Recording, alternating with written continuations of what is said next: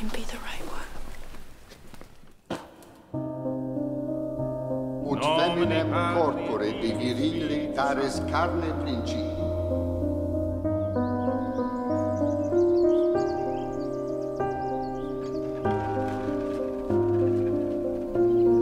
Stay with me. It is the patient that must find solace in the bed, never the doctor. What is it, madame? I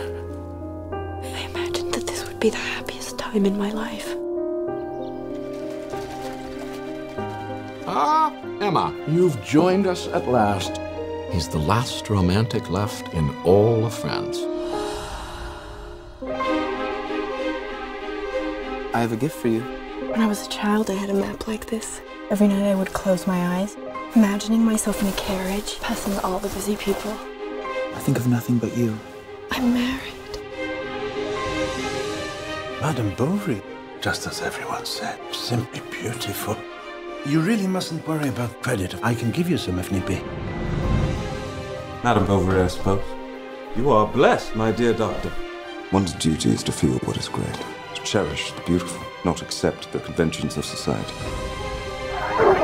Each moment you do not possess what you love is a moment not spent in love. And a heart without love is a heart without a voice. Your debt has become quite formidable. You must begin to pay. This was not meant to be. Who was that? The bailiff. You made me believe that you loved me.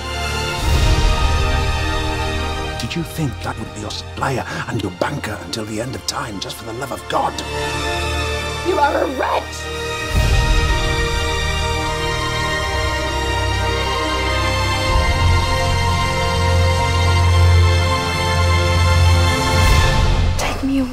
Beg you.